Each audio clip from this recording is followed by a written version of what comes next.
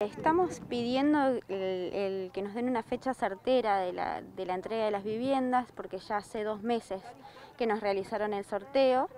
Ya sabemos cuál nos toca a cada uno, a cada vecino, pero realmente no tenemos ninguna respuesta por parte del IPB. Y es desesperante porque tenemos vecinos que están queriendo ser desalojados por los locatarios y pagando multas. Y, y bueno, y la verdad que no tenemos ninguna respuesta. ¿Se ha hecho un reclamo en el IPB hace un par de semanas? Sí, estuvimos en la puerta del IPB y realmente ninguno quiso llamar a Rawson para que, para que nos puedan dar alguna información. Se acercó un empleado administrativo, pero no tuvimos eh, respuesta de ninguno de ellos. Lo que nos desespera en realidad es la falta de certeza.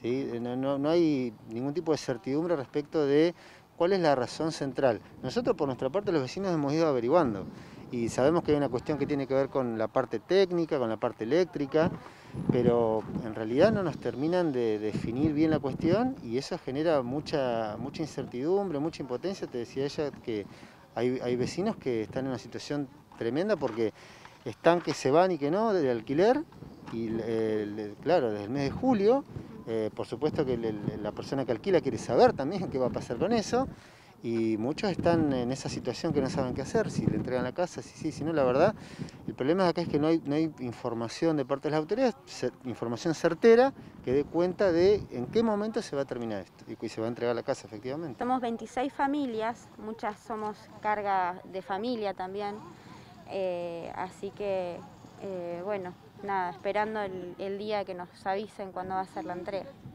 Hoy el IPB tiene que dar ellos la respuesta ellos nos tienen que dar la respuesta. La verdad esperamos una, una mano, digamos, de su parte para ver si realmente pueden comunicarse con alguno de nosotros o también con el gremio de CETIA, que López está expuesto todo el tiempo a la comunicación, para, para ver que nos puedan decir la fecha exacta de, de cuándo se van a entregar.